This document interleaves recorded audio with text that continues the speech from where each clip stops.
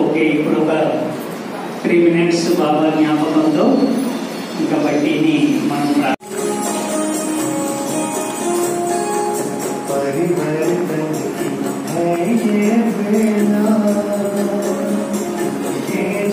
बदलने वाला